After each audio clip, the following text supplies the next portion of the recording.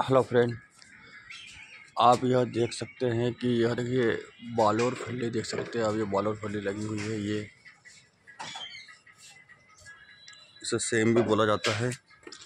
ये देखिए, ये फूल लगे हुए हैं। इसके फूल भी बनते हैं और ये बालोर फली लगी हुई है। ये बहुत सारी लगी हुई है, इधर भी आप देखेंगे।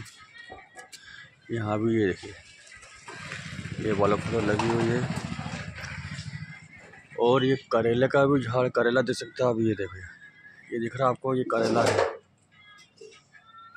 ये करेला भी लगा हुआ है, ये देखिए।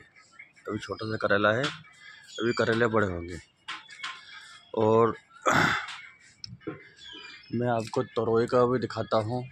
तरोई अभी लगी हुई है, टूट गई है, पर अभी एक तोरई जो बीच में रखी है, वो देख सकते हैं आप, ये देखिए। ये तरोई आप देख सकते हैं, ये कितनी बड़ी तरोई है।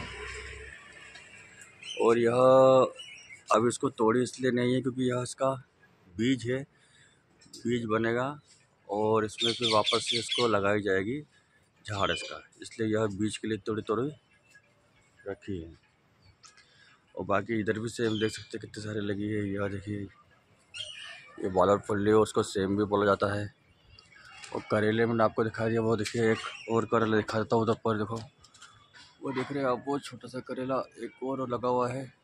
ये करेले का झाड़ है, करेले भी लगे हुए हैं, छोटे छोटे करेले।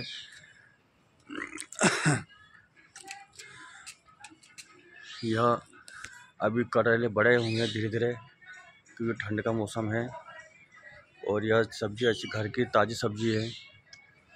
बाज़ारों में सब्ज़ी जो आती है, वह एकदम बासी सब्ज़ी रहती है और दो दो पाँच पाँच दस दस दिन की सब्ज़ी तोड़ के रखे रहते हैं। पर यह देख सकते हैं आप, ताज़ी सब्ज़ी तोड़ के आप बना सकते हैं। सेम का झाड़ करेले यह ताज़ी सब्ज़ी बहुत कम जगह मिलती है, सिर्फ़ गाँव में मिलती है, बाकी हर जगह नहीं मिलती।